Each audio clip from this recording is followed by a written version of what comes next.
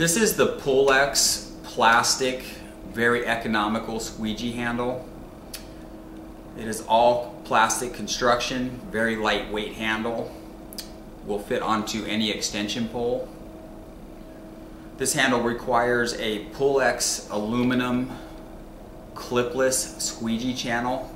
These channels are available in sizes 8 inch to 18 inch.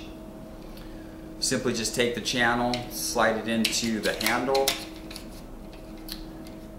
and this is a tightening knob that will quickly tighten that channel and lock it in place into the handle.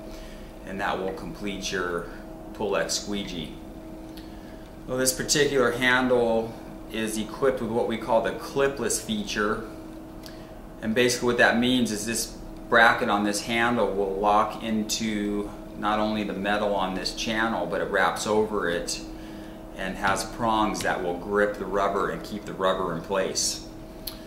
So that will allow you to use this particular squeegee without the use of end clips. And uh, most, most channels you will see will have an end clip that holds this in place in the channel.